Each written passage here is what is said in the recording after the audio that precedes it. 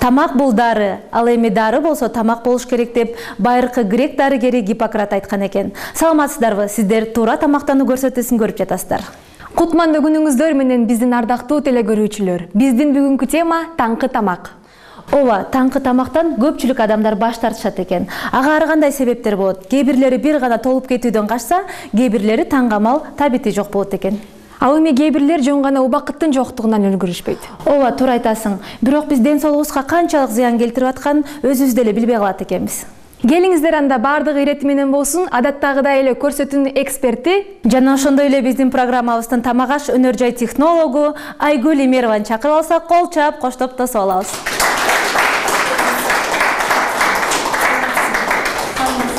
саламатсызбы айгүл эже айтсаңыз сөзсүз таңкы тамак ичиш керекпи идеалдуу таңкы тамак кандай болуш керек?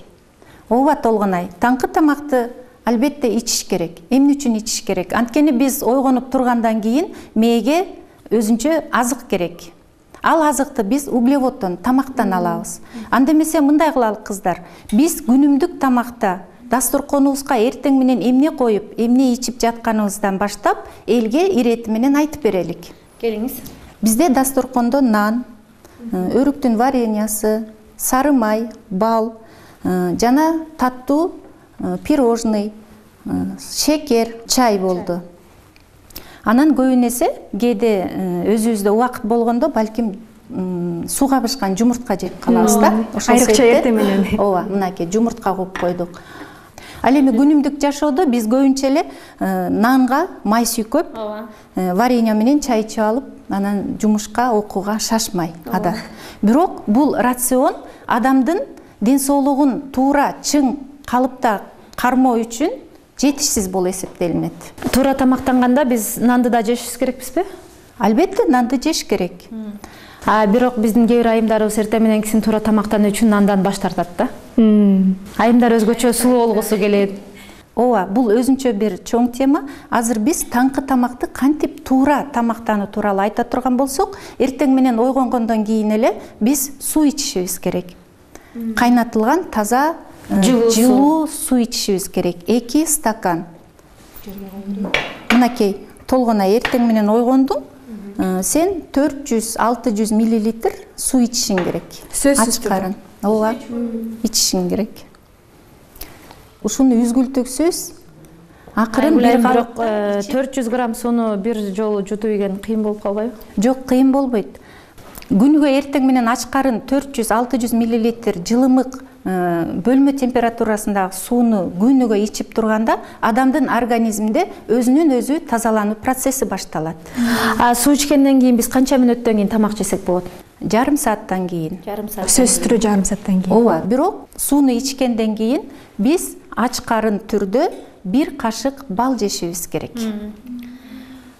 Бал адамдын организмине абдан пайдалуу нукура таза азык болуп эсептелинет демек биз суу ичкенден кийин жыйырма мүнөттөн кийин бал жейбиз жыйырма мүнөттөн кийин тамак жейбиз биз кийин таттуу тамактарды жей берсек зыян болбойт ооба эртең менен организмге углевод керек азыр биз ушул таңкы тамакты туура даярдоо үчүн мен жардамчым менен келдим эле анда жардамчым алтынбекти чакырып алалык дагы биз көрсөтөлүк элге саламатсызбы саламатсыздарбы алтынбек бүгүн бизге сулуу акшагынан ботко каша жасап берет овсяная каша жана жүгөрүдөн оладьи жасайбыз. Биздин ашпозчубуз тамак жасагы чакты. Биз кийинки сурообузду бал боюнча үчүнчү муундагы адис чолпон айым айтсаңыз деги эле ушул балды биз базарлардан сатып алууда натуралдык балбы же жасалма жол менен даярдалган бал экенин кантип билсек болот? Негизинен азыр балды мындай капкагын жаап турган идишти ачканда мындай тоо гүлдөрү жыттанат а эгер жыты жок болсо ал жасалма болот. Андан кийин кадимки эле жылымык сууга отуз алты отуз жети градустагы жылымык сууга жыйырма беш грамм балды кошобуз аралаштырып жыйырма мүнөт коюп коебуз да. Андан кийин бул жакта суунун өңү өзгөрүш керек канчалык мындай киргил тартып калса ал таза бал да мындай. А эгерде тунуп калса мынакей муну аралаштырып көрөбүз аралашканда өңү сары өңдү берсе бул таза бал. Демек бул эмнени түшүндүрөт а жасалма болсо суу тунук болуп ооба туура анткени балдын курамындагы нукура заттар сууда эрип кетет мына биз аралаштырып жатабыз жыйырма беш минут коюш Э, керек. жыйырма беш мүнөт коюп. Чолпон айым айтсаңыз биз э, базарларда мындай шарт жок болуп калса сууга салганга шарт жок болсо биз кандай түрдө тандасак болот? Тазабы же таза эмес балбы? Э, көлөмүнөн тандасаңыздар болот. Мисалы үчүн бир литр банкага суу батчы банкага бир жарым килограмм бал батыш керек. Көлөмү жагынан да байкасаңыз болот.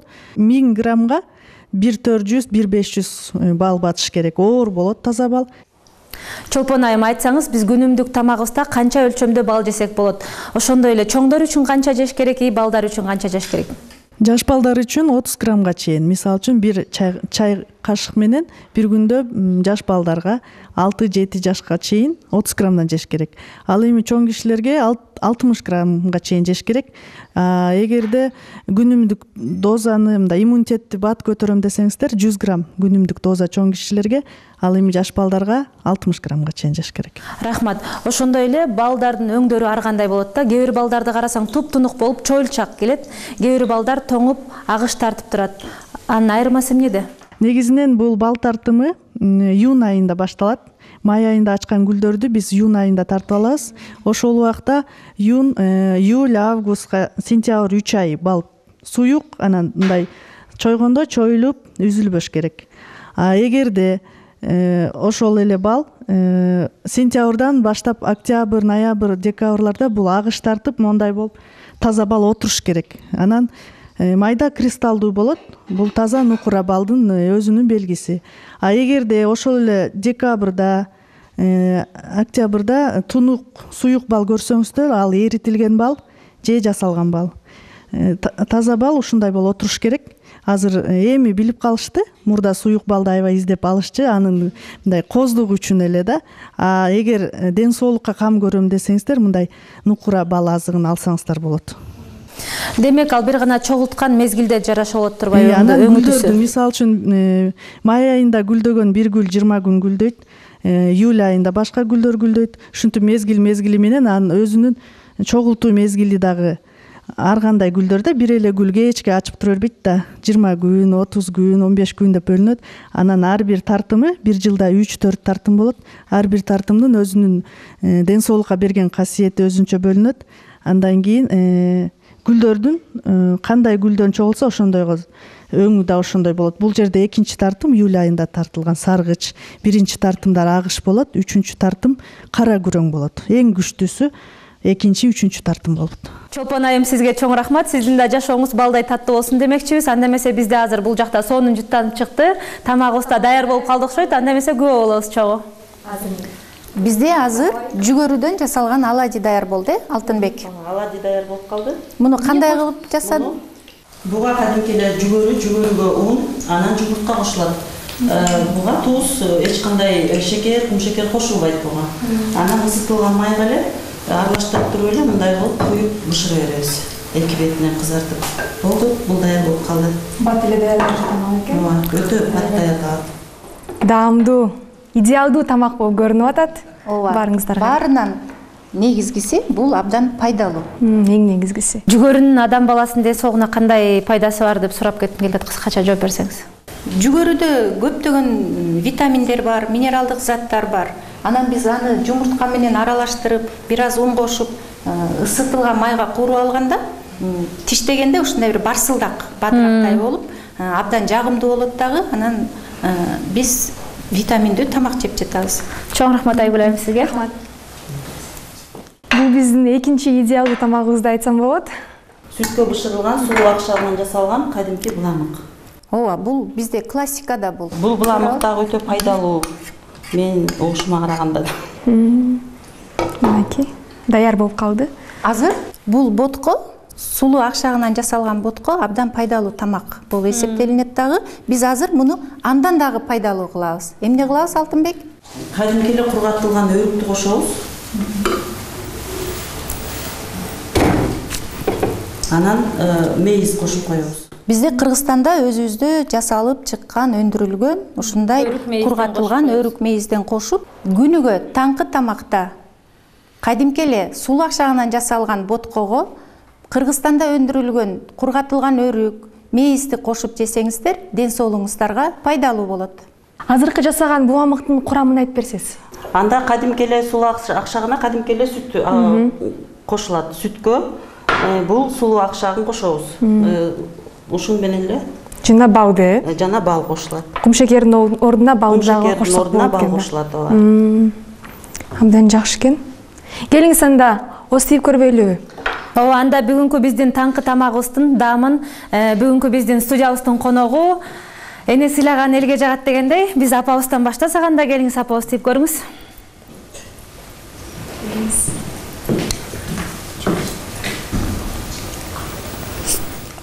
Азыр бизде бойго жеткен эркек балдар өзүлөрүнө кошумча масса кошкулары келип белковый ар кандай э, кошулма тамактарды синтетикалык тамактарды алып жеп жүрүшөт. Мен ошонун биздин натуралдык түрдө күнүмдүк эле кухняда кадимки турмушта эле кантип жасоо жолун көрсөтүп берсем.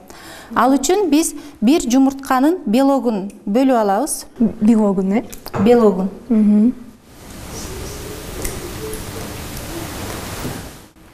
Белогун бөлүп алгандан кийин аны бир аз чалабыз дагы мындай атай өзүнчө идишке.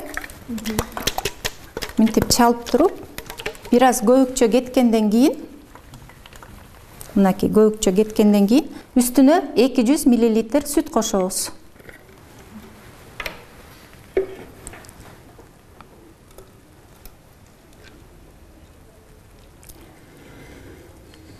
Сүт коштук анан бир кашык бал салабыз.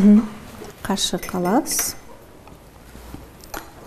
балды биз эмнеге кошуп жатабыз? Бал анткени углевод. Углевод биздин организмге энергия берет.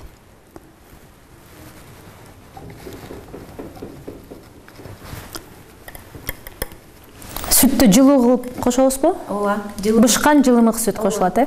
Сүттү муздак ичкен зыян сүттү муздак ичпеш керек. Жылытуу ичүү керек ашказанга күч келет. Биз бул тууралуу сүт жана сүт азыктары көрсөтүүсүндө кеңири айтып бергенбиз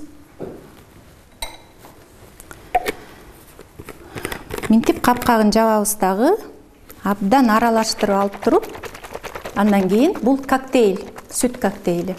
Муну күн сайын ичип жүрсө бир жыйырма жыйырма эки күн өткөндөн кийин э, кадимкидей э, өзүнчө кошумча булчуңдар жана белковый смесь деп ичип жатышпайбы бул ошонун натуралдык көрүнүшү. Бул көбүн эсе жаш балдарга арналган ооба эркек ооба эркек балдарга.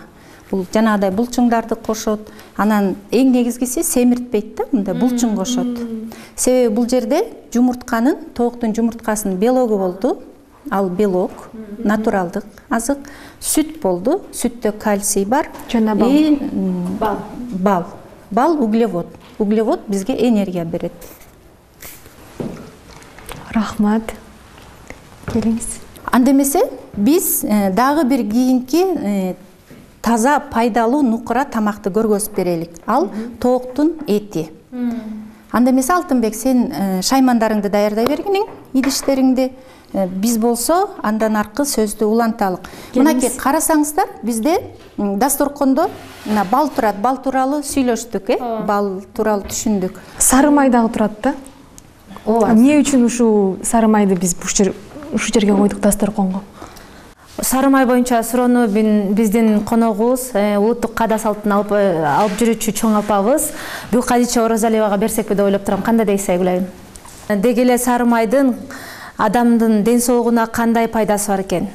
Сары май дак болгон сары май ошон үчүн мунун кубаттуулугудай күчтүүрөөк муну сызгырганда эле чөбөгөсү бөлүп бөлүнүп өзүнүн кайнагандагы сары майды сызгыргандар өздөрү эле байкайт жытынан анан өңүнөн эле билинет ошо дак болгон толук бышырылган май дак болгон деген тамак эле өзү абдан азыркы жанагы окумуштуулардын айтканда таза фильтрленген катары болуп айтылат да өзү эле жытынан эле байкалат ошонун кубаттуулугу илгери кыргыздар курутка деле салып жутуп ичип жүрүшкөн жанагындай ботколорго салып жеп жүрүшкөн мунун ошол кубаттуулугу ошондо деп ойлойбуз А, оозуңа май деген сөз ошол экен да. Кол чабаар болсун биздин апабызга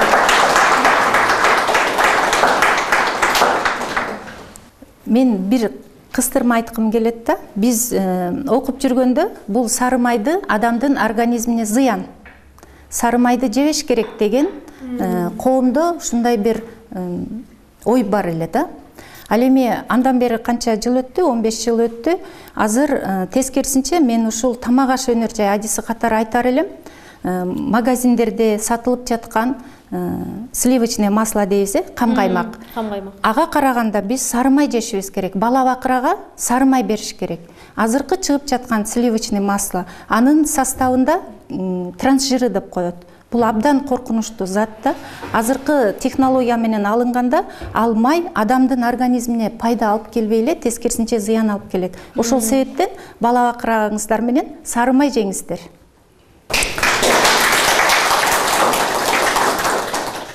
Алтынбек канан да биздин пайдалуу тамагыбыз? Бул тооктун эти. Тооктун этине э, туз кадимки эле анан мурч сээп май менен майлап туруп духовкага салып бышырабыз кызыл мурч септик анан өсүмдүк майын куюп маринадтап туруп анан духовкага салабыз. Жүз сексен градуста жыйырма жыйырма беш минутта бышырып алсаңыздар болот.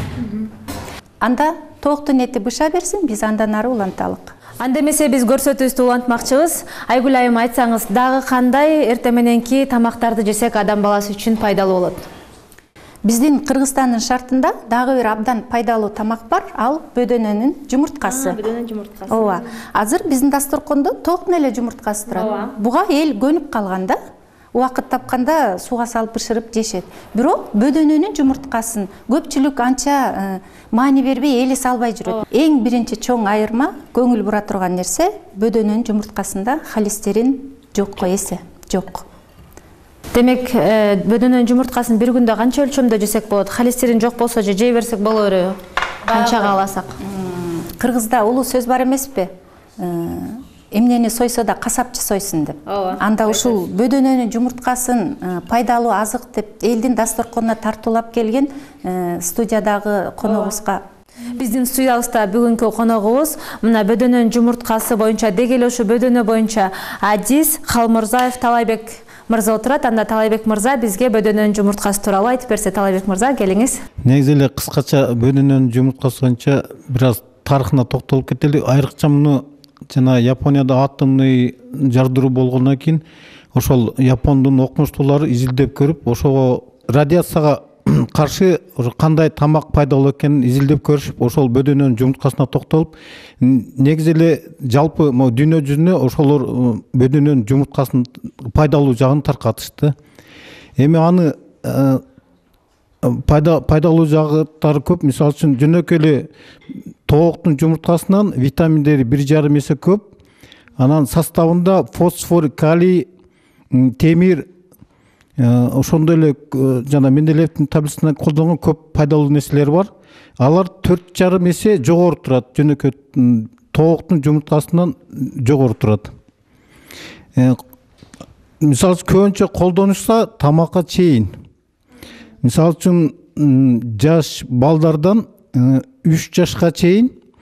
Э, мүмкүн болушунча сууга кайнатып муздак сууга кайнатып берсе жакшыраак болот анан үч жаштан өйдө болсо аларга негизинен чийки ичкенге жакшы бөдөнөнүн жумурткасын анда жаш балдар үчүн канча өлчөмдө жешсе болот жаш балдар бир күндө канчаны жесе болот жаш балдарга үч жашка чейин ошол бирден э, бир же үч эгер кайнатылган болсо аны үч үч жу- жумурткага чейин берсе болот кайнатылган эмесинде а эгер чийки болсо ошол үч жаштан жогору он жашка чейин мисалы үчүн бирден экиден берип чийки боюнча. Ошентип э, жашына карата өйдө кете берет. Мисалы үчүн кырк элүү жаштар болсо аларга бешөө алтөө бир күндүк норма. Бир күндүк. Ооба биздин студияда дарыгер өмүракунова назгүл эжебиз отурат Э, назгүл эже айтсаңыз э, ушул жумуртканы чийки жегенден эмне кандай пайдасы бар? Же зыяны барбы? Саламатсыңарбы мен ойлоп атам аябай туура суроо болуп атат анткени деген баягы чийки эми ал көбүрөөк пайдалуу болуш керек жана тооктун жумурткасы менен дагы чейин биздин экспертибиз э, коктейль көрсөтүп кетти Э, негизинен чийки желсе аябай туура ден соолукка пайдалуу болот эле бирок деген аны колдонуш үчүн биз деген билиш керекпиз чын эле жумурткалар тазабы жугуштуу оорулар жокпу ошондой туура эме обработкадан өтүп атабы санэпидстанциясы менен же баягы госторго ошо туура келеби ошонусун деген сөзсүз аныктап туруп анан колдонсок болот го деп ойлойм да анан баары бир баягы эми ар бир айым үйдөн мындай жумуртка эмени колдонгондо сөзсүз жууп тазап баягы гигиенаны сактаса анда колдонсо болот деп ойлойм чоң рахмат. Назгүл айым мынакей кыздар карасаңыздар чолпон айымдын балы нукура бал экен эрип кетти ооба эч кандай чөкмө чөккөн жок рахмат чолпон айым ушундай накта нукура таза азыкты элдин дасторконуна тартуулап жүрө бериңиз ийгилик чолпонубуз бышып калды окшойт биздин тооктун эти да бышып калды алтынбек кана кесип алып келдиңби мынакей. Бул тооктун төш ак этин эмне үчүн таңкы тамакка мен сунуштап жатам. Анткени бул белок. Алтынбек мырза айтсаңыз муну кандай даярдадыңыз биздин теле көрүүчүлөргө айтып берсеңиз бул этке кадимкидей туз мурч себилди кызыл мурч. Анан өсүмдүк майы менен майнанды анан жүз сексен градуста духовкага салдык ошол духовка менен жыйырма жыйырма беш мүнөттүн ичинде даяр болду биз бул тооктун этин жегенде биздин организмге белок. Болот дагы. Ал эми организмге белок жетиштүү болсо бизде иммунитет күчтүү болот. А иммунитет күчтүү болсо ден соолугубуз чың болот. Ооба туура айтасыз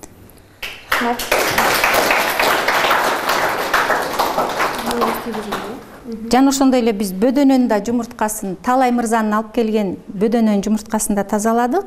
Биздин студиядагы конокторду апаларды эжелерди ооз тийгизелик ошондой эле алтынбек мырза даярдаган тамагын дагы ооз тийип көрсөк?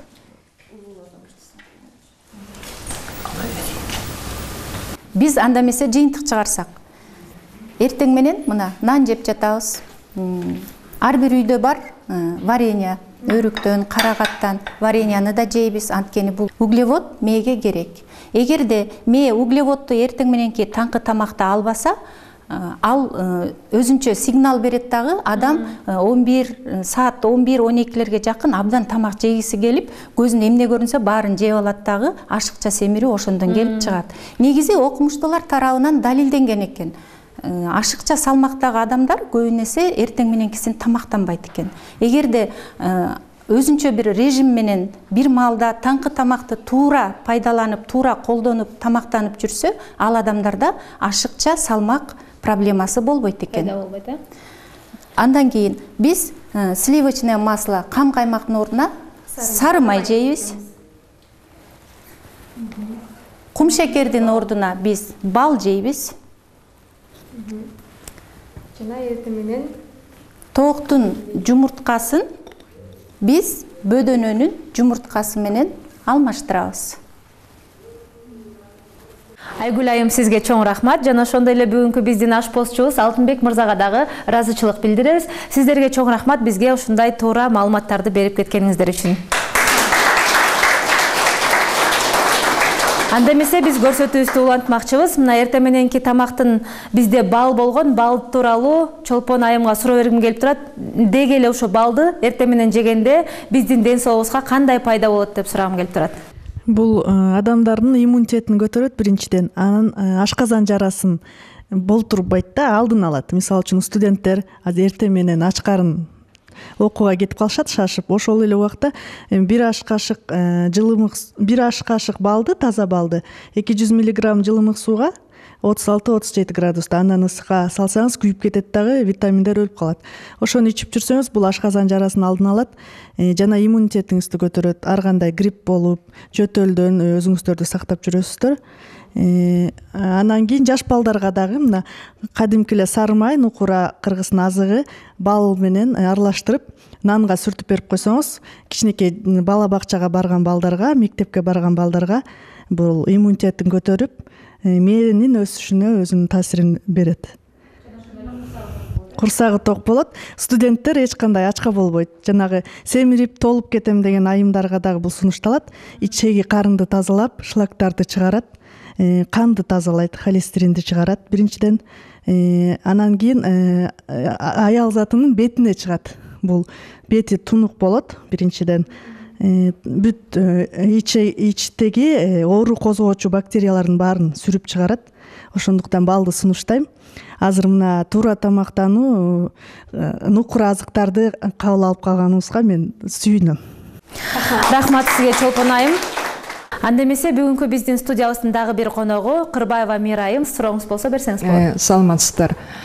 Менин э, биринчи эле суроом ушу менин балдарым эртең менен тамак ичпейт табити жок да? Таптакыр бир чыны чай ичип алат анан бир кусок нан жесе жейт жебесе жок.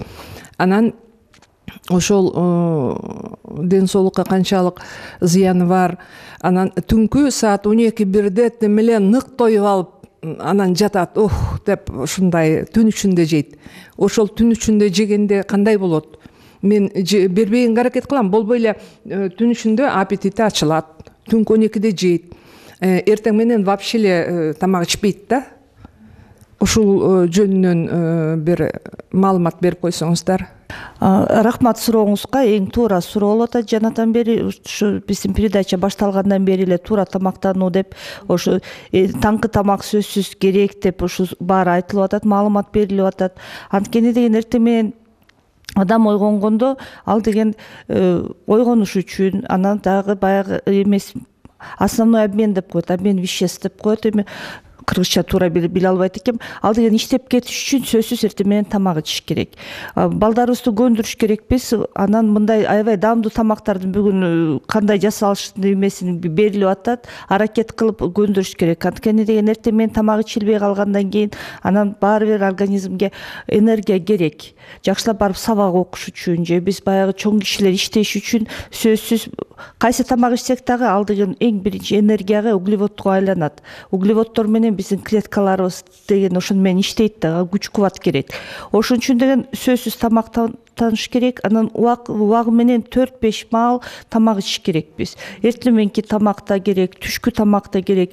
Илгертеден биздин э, апаларыбыз деле айтып келчү эле азыр деле кайсы үйгө барбасаң э, эртең мененки чайдан калба деп сөзсүз бизде сөз бар да мурункудан эле. Эртең мененки сөздөн э, эртең мененки чайдын коку эртең мененки чайга туш келип калыптырсың сөзсүз аны деген ичип кет осип кет деп ошондой айтат.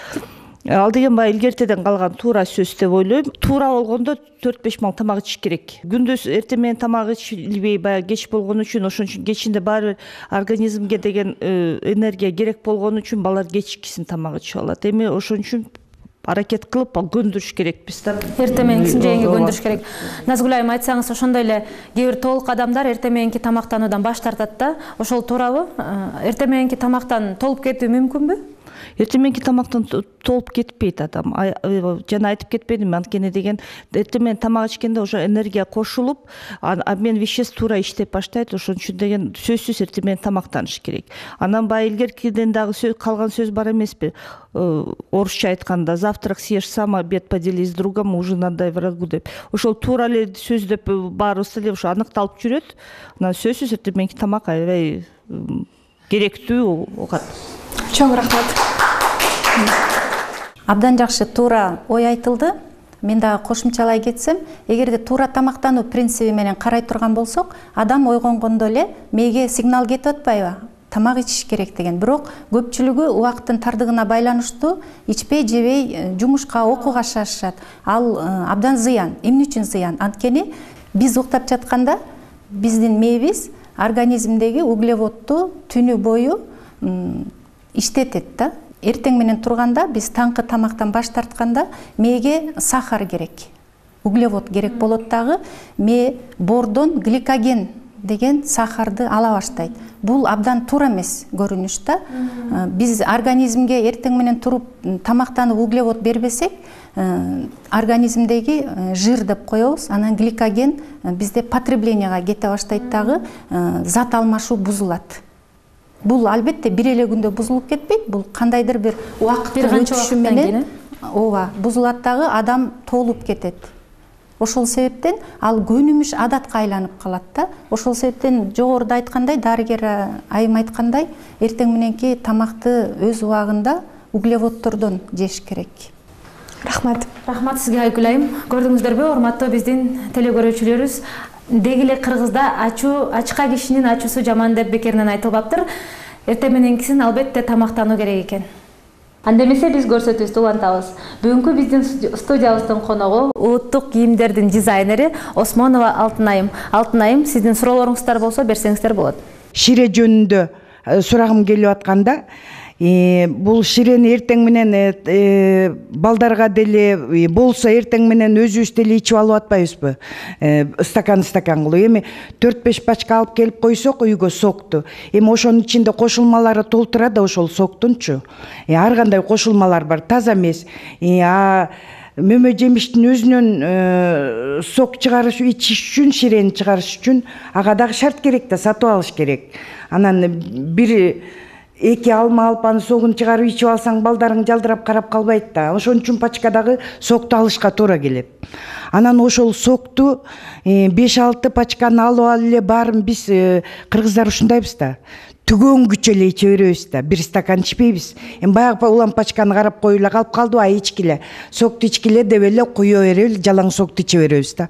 Эми ошол кошулмалары көп сок пайдасы барбы адамдын организмине же кандай ичсе болот деп сурагым келет да сенден. Эртең мененки тамак менен бир стаканы натуральный болсо сок ичилсе туура эле анткени деген ал бат жана биздин эксперт айткандай э, углеводдор бат жете турган углеводдор бөлүнөт. Сложный и легкий углеводы деген. Ошол деген бат мээге жетип эмеге сигналдарга баягы организм ойгонуп обмен вещество иштеп кеткенге туура э, эме жолдорду берет да.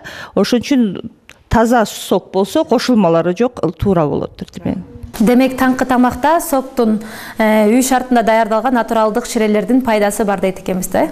Биздин бүгүнкү студиябыздын дагы коноктору бар. Э, кимде кандайдыр бир суроолор пайда болсо берсеңиздер болот. Саламатсыздарбы? Саламатчылык. Биз эртең менен турганда дайыма кофени көп ичебиз ошонун ден соолукка зыянбы же пайдасы барбы чоң рахмат. Анда биздин дарыгер айым назгүл айым жооп берсе кофе жөнүндө ар кандай пикирлер болуп атат анан таза натуральный кофе болсо бир эки чашка зыян болбойт организмге. Анан бирок деген азыр дагы ар кандай кошумчалар түрлүү кофелер болуп атат аны дагы карап ичиш керек. Анан да ашыгбай бир эки чашка деп бүгүнкү программада бөдөнөнүн жумурткасы тууралуу сөз болуп кетти анда мырзалардын ден соолугуна абдан пайда пайдасы келет депчи э, бөдөнөнүн жумурткасы эркектер үчүн пайдалуубу рахмат сизге бул суроого биздин э, талай мырза жооп берсе деп ойлойм жакшы суроо болду сөзсүз түрдө эркектерге пайдасы чоң. Жана айтып кеткендей бирок эртең менен тамакка чейин чайки ичиш керек. Ошондой эле муну дагы башка тармактарда эме ичишет жана унчуңдарды күчтөндүрүү үчүн эркектер көп пайдаланат. А эми жаш балдар үчүн жаш балдардын сөөк тиш тырмак ошондой эле балдардын эс тутуму эң жакшы болот. Саламатсыздарбы негизинен куурулган тамак бул ден соолукка зыян деп билемин да. Сиздер бул жаңы эле жүгөрү менен жумуртканы куурдуңуздар зыянчылыгы жокпу жакшы суроо экен бул классикалык тамак оладьи жумурткадан токтун жумурткасынан ундан майдан жасалып жатат да. А биз болсо ушул эле классикалык оладьини жүгөрүнү накта нукура таза жүгөрүнү кошуп туруп байытып витаминге байытып туруп жасадык адам дайыма эле сууга бышкан тамакты жей бере албайт кээ бирөө ойлойт туура тамактануу десе эле болду мен диета кармашым керек экен сууга бышкан тамак жешим керек экен нан жебешим керек экен сүт ичип калат экенмин суу ичип калат экенмин деп. Жок туура тамактануу деген бул башка туура тамактануу бул биринчи кезекте. Тамак азыктарын туура тандап алуу жана ошол туура тандалып алынган тамак азыктарынан даамдуу пайдалуу кылып тамак жасай билүү эгерде көңүл бурсаңыздар биз таза идишке таза майды куюп туруп андан кийин эки үч минутада эле биздин ашпозчубуз бышырып алды. Куурулган азыктарды эмне үчүн зыян деп айтылат? Алар жанагыдай фри чипсы деп коебуз э ал жакта майлар үч жүз эки жүз сексен үч жүз градуска чейин ысытылат дагы ал жакта көп өлчөмдөгү майда куурутулуп куурулуп алынат. Ошол себептен ал жакта канцерогендик заттар пайда болот дагы куурулган заттар зыян деп айтылат. А биздин эртең мененки жасалган оладьибизде эч кандай зыян нерсени көрбөй элебиз биз көбүнчө эле эртең менен окууга жөнөп жатканда ошо кечинде даярдалган тамакты кайрадан ысытып жеп алабыз. Мунун зыяны жокпу. Эң сонун суроо болду. Анда эмесе бул суроого биздин дарыгер айым назгүл айым жооп берсе. Кечинде даярдалган тамак туура сакталса муздаткычта анан эртең менен ысытып атканда дагы баягы суюк тамак болсо сөзсүз бир сыйра борко этип кайнатып алыш керек. Анткени муздаткычта турган маалда жана болезнетворный микробтор бар ошолор эметип көбөйүп кетиши мүмкүн да. Пищевой отравление болбош үчүн туура жакшылап ысытып алыш керек. Анан чала ысытып эметкенде кээде ооруга чалдыгып калышы мүмкүн. Ошон үчүн тамак туура сакталыш керек анан туура ысытылыш керек анда эмесе биздин көрсөтүүбүз да соңуна келип жетти. Баардыгыңыздарга чоң рахмат. Баардыгыңыздар адам баласынын ден соолугуна керектүү маалыматтарды ала алдыңыздар деп ойлойм. Кийинки көрүшкөнгө чейин саламатта калыңыздар. Бир аптадан кийин жолугушканча сак саламатта калыңыздар